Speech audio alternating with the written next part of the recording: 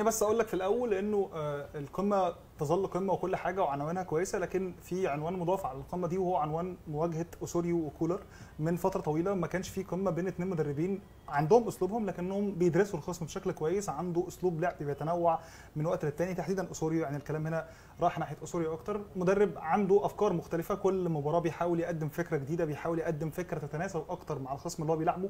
وبالتالي أنا متحمس جدا أشوف شكل كولر قدام أسوريو وشكل أسوريو قدام كولر ودي واحدة من أكبر الحاجات الأساسية اللي إحنا ممكن نستناها بكرة. لكن في نفس الوقت في أفكار متوقع إنها هتبدا تتكرر أو إنها هتتكرر لأن هي جزء من أسلوب المدير الفني زي طبعا أوضحهم وهي وجود أحمد فتوح أو الظهير الأيسر للزمالك في وسط الملعب جنب الارتكاز الأساسي اللي هي اسوريو بيعتمد عليها. خليني سريعا كده بس أحاول أشرح ليه ممكن يكون المدير الفني بيحاول يعتمد على الأسلوب ده أو الطريقة دي. آه الأساس إنه المدير المدير الفني في مراحل بداية اللعب خلينا بقى ما نسميهاش build up أو ما نسميهاش تحضير من الخلف خلينا نقول مرحلة بداية اللعب يعني هو الكرة ما زالت عند المدافعين بتاعته. هو بيحاول يخلق مثلث علشان خاطر يشوف اللعيبة اللي معاهم الكرة ولنفترض إن هم الاثنين المساكين دول هم بيبقوا محتاجين يشوفوا الارتكاز الأساسي بتاعهم اللي هو مفترض إن هو المحطة اللي هتتحرك منها اللعب. وبالتالي هو بيحاول يخلق المثلث ده علشان خاطر الاثنين دول يبقوا شايفينه من كل المسارات الممكنة.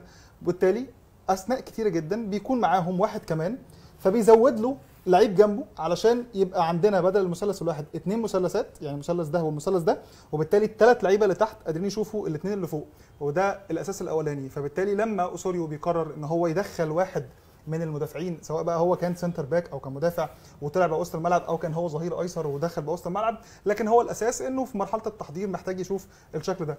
أوقات ممكن يكون عاملها بشكل تاني وإن هو يثبت الاثنين المساكين ويخلي في ثلاثة موجودين قدامهم وهو نفس الفكرة إنه ده برضو أصبح بقى مثلث نفس الشكل. يقدر يفتح مسارات أكتر للتمرير في نص الملعب عشان يطلع بالكورة. مظبوط. وخليني أقول لك إني متوقع إنه ده الشكل الأقرب للزمالك. يعني متوقع إنه الشكل اللي نهى بيه الزمالك قدام فيوتشر هو الشكل اللي هيبدأ بيه قدام الأهلي وده لأسباب قد تعود إلى مباراة الأهلي وفيوتشر اللي الأهلي وجد فيها شيء من الصعوبة في مواجهة شكل 2 3 في مرحلة التحضير الأولى.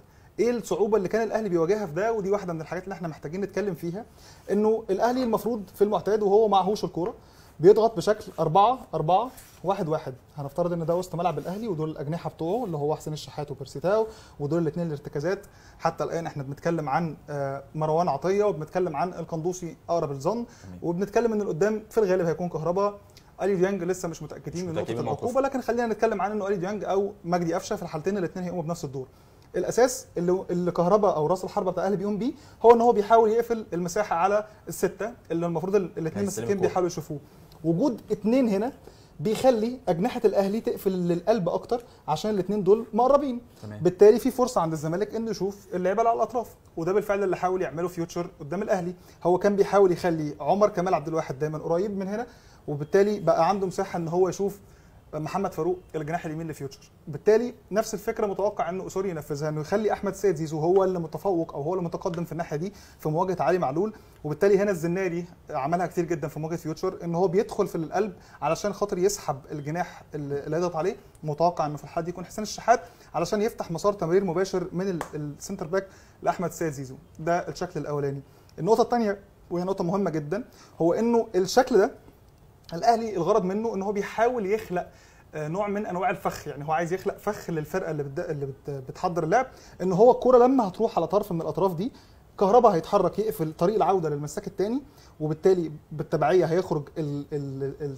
ال... وسط الملعب اللي هو 4 4 1 1 الواحد الثاني هيطلع يقفل على الستة الجناح العكسي هي- هيضغط كده والجناح اللي موجود هنا هيضغط كده فبالتالي إحنا حطيناهم في فخ هنا. الفخ اللي الأهلي بيعمله ده نجح جدا قدام فيوتشر لمراحل طويلة جدا لحد ما فيوتشر عمل الفكرة اللي متوقع إن الزمالك هيعملها ألا وهي إنه خلى واحد من لعيبة النص بتاعته في الحالة دي كان غنام محمد إنه ينزل يكون جنب آه، وقتها كان مهند لاشين. وبالتالي هنا بقى الدور اللي بنتكلم عليه ان هو هيحتاج يزود واحد ستة جنب الارتكاز بتاع الزمالك. الفكرة دي هي الفكرة الأساسية بتاعت آه، اسوريو وبالتالي أنا عشان كده قلت لك أنا متوقع إن هو اسوريو هيلعب اثنين ثلاثة ويخلي واحد ينزل يضيف عليهم علشان في الحالة دي اللي بيخرج عليه هو مروان عطية.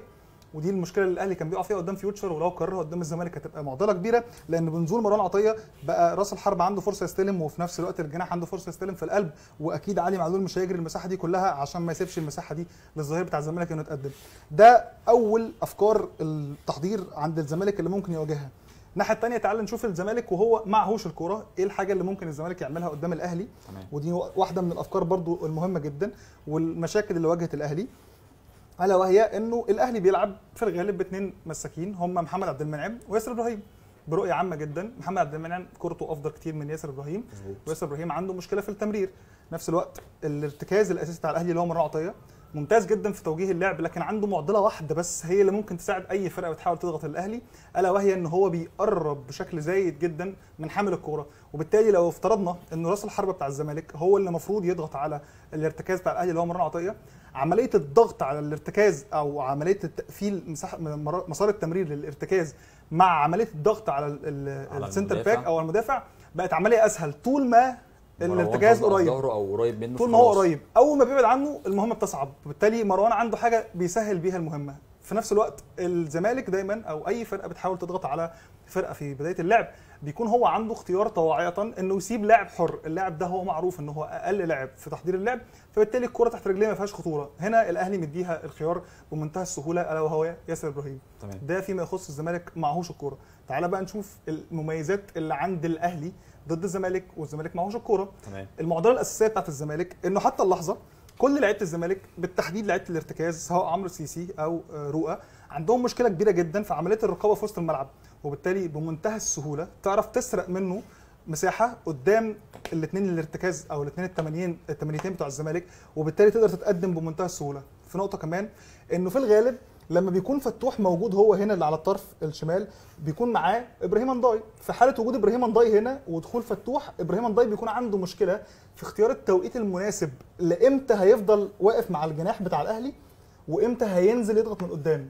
لو جناح الأهلي اللي هو حسين الشحات هنا أو هنا بيرسي تاو اللي هو تمام. متوقع جدا إن هو هينزل لأن هو واحد من أكتر الأجنحة اللي بتتقدم عشان تستلم الكرة من المدافعين لو بيرسي تاو نزل هنا ونزل وراه إبراهيم انداي بسع- بسرعة واللي هو متوقع هو اللي هيلعب ومتوقع هو اللي هينفذ الدور ده بقى في مساحة كبيرة جدا لأفشة انه يتحرك على الطرف وفي نفس الوقت ال striker بتاعه يتحرك على الطرف وزي ما قلت لك أي ارتكاز هيلعب في الزمالك هو عنده مشكلة في الدفاع ضد المساحة الكبيرة فبالتالي الأهلي لو قدر يكسر أول خط. ضغط بالظبط. لو قدر يكسر أول خط ضغط في الزمالك هيبقى عنده مساحة كبيرة جدا على أطراف الملعب. هو بيحتاج يستغلها لأن هو عنده قدرات كبيرة جدا من حسين الشحات ومن بيرسي تاو في السرعة والانطلاق ودي نقطة ممتازة. ده في المطلق كده الشكل العام اللي ممكن تتوقع الأهلي آه، هيعمله بدون كورة أو هيعمله بالكورة والزمالك هيعمله بدون كورة والأهلي هيعمله بدون كورة.